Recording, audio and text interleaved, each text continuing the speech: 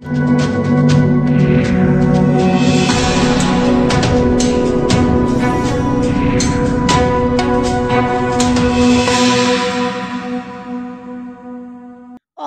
पहलवान बजरंग पुनिया, साक्षी मलिक और विनेश फोगाट के नेतृत्व में बड़ी संख्या में प्रदर्शनकारी मंगलवार को इंडिया गेट पर कुश्ती महासंघ के अध्यक्ष ब्रजभूषण शरण सिंह की गिरफ्तारी की मांग को लेकर एकत्र हुए।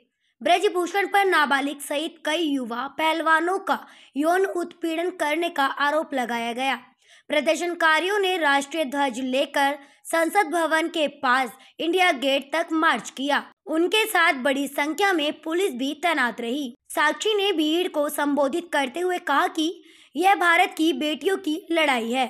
यह पहलवान ब्रजभूषण की गिरफ्तारी की मांग को लेकर 23 अप्रैल से जंतर मंतर पर धरना दे रहे हैं जिस पर एक नाबालिग सहित छह महिला पहलवानों ने यौन उत्पीड़न का आरोप लगाया है। पहलवानों की शिकायत के आधार पर दिल्ली पुलिस ने पिछले महीने भाजपा सांसद के खिलाफ दो प्राथमिकी भी दर्ज की थी। पुलिस ने सात पहलवानों के बयान भी दर्ज किए थे, जिनमें एक नाबालिग है और यौन उत्पीड़न के आरोपों पर सिंह से पूछताछ की गई। अभी तक दोनों मामलों में किसी की भी गिरफ्तारी नहीं की गई है। यह पहलवान जो कह रही है, अगर मान भी लेता हूँ, यह सच है।